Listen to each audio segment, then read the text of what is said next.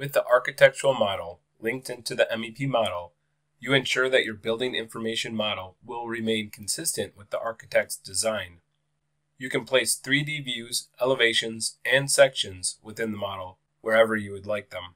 To place air terminals, navigate to the Systems tab and then select the Air Terminal tool from the ribbon.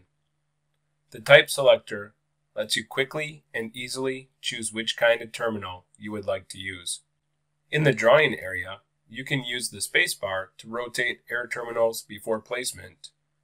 Terminals can be copied from one room to another room using the midpoint snaps to align them directly to the center of the walls.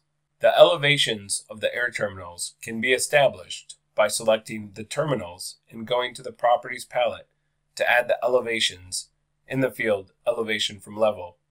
The host level is associated to the plan view you are working from. A few of these rooms will have the same CFM requirements. If they are selected, the airflow can be added from the Options bar or from the Properties palette. The process is repeated for the remaining rooms. Placing mechanical equipment is very similar to placing air terminals. Both are found on the Systems tab.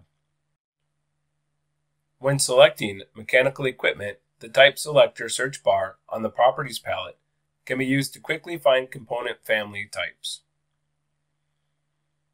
After selecting the equipment, use the ribbon to choose the placement type. These elements will be hosted using Place on Work Plane. The mechanical equipment family is easily placed into the mechanical closets. Now that the terminals and equipment are placed in the model with the correct elevations, you can physically model ducts to connect components together and create a system. You can start drawing ductwork right from the air terminal connectors.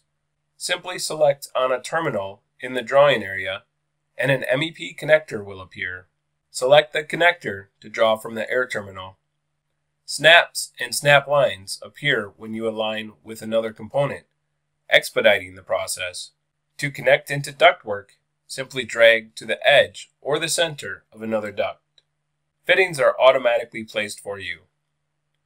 You can split a section of ductwork and then change its size from the options bar. This will automatically add in transition fittings for you. To change the size of a duct, select a section of ductwork and go to the options bar. Here you'll find the width and height of the duct displayed. If you change the size of the ductwork, the fittings will adjust for you to match what you are working on. You can quickly change the appearance of the views using the Visibility Graphics command. Let's say you do not want to view the architect's linked model in a 3D view. Simply go to the Visibility Graphics and disable it in the view. Now let's quickly review what we've drawn so far. You can see in the 3D view how the transitions were placed after changing the duct size. After selecting the mechanical equipment, you will see that there are more connectors to choose from in this family. The connectors have different symbols for each discipline. Choose the appropriate connector from the mechanical equipment. To draw in the vertical direction, change the middle elevation from the options bar, either by selecting an already established elevation or typing in the desired height. Selecting an open-ended section of ductwork gives you a tool on the ribbon to cap open ends. This places the cap fitting automatically. Under the Systems tab, the Duct tool allows you to place ductwork however you would like. The Options bar enables you to change the width, height, and elevation of the duct. In the Mechanical Settings menu, there are options for you to choose which sizes you would like to make available for use in the project.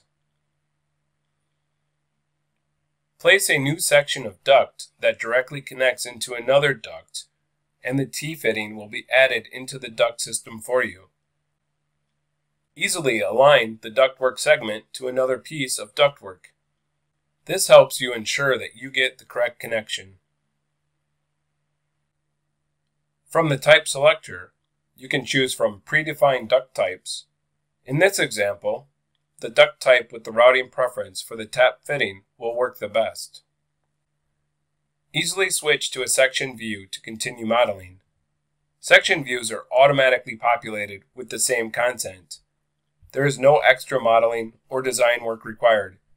You can continue to work in them in the same way as your plan view by dragging connectors into duct segments. Now the duct system is completely connected. If you select a section of ductwork and move it, all the components will adjust with it.